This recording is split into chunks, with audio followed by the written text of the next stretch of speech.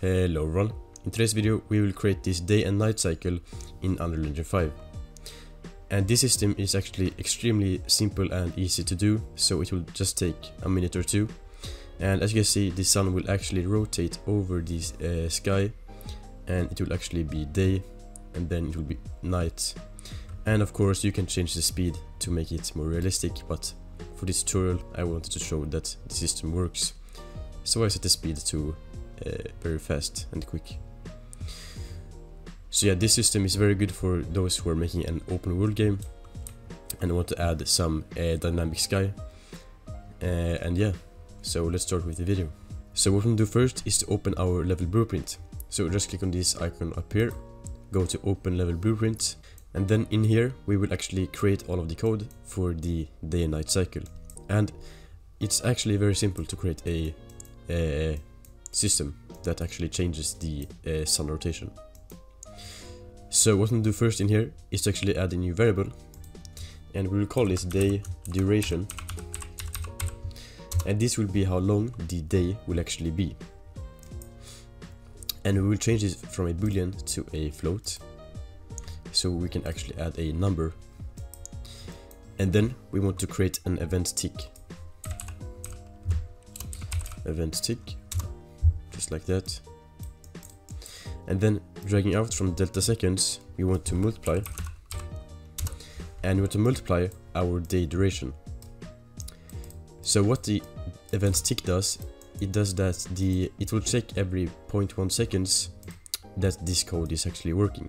So after this we will drag out of the multiply and we'll make a rotator like that. And this will go into the AY, so the pitch, since we are changing the pitch of the sun, so up and down, uh, like that.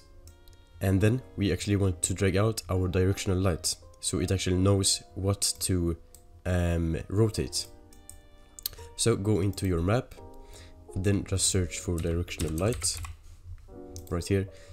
Since this is the actual light source in our map, as you can see, this is what changes the day and night. So we want to get a reference to this, so we can just drag this into the level blueprint, like that. And then we want to change this directional light uh, rotation. So drag out of here, and then we want to add actor local rotation, like that and the add actor local rotation will go into event tick so the event tick will check every 0.1 seconds that we are actually rotating the directional light. And then the add actor local rotation will go. And then to combine these two uh, codes we just want to drag the delta rotation into the return value so it knows uh, what uh, to change the rotation with so the pitch like that. And then we want to actually uh, set our day duration. So I will just set a quick value to maybe 20 seconds. So it will take 20 seconds for the day to complete. And yeah, that is the code. It is very simple and very easy to do, so it is also very effective if you're making a open world game. So now if I just play, you can see that the sun will go down and then it will be night and then it will go up sometime. Yeah right there. So yeah that's a fast and simple tutorial on how to do the day and night uh, cycle. So yeah I hope you liked it and a new tutorial will come soon so don't worry. And yeah don't forget to join my uh, discord and yeah have a good day. Bye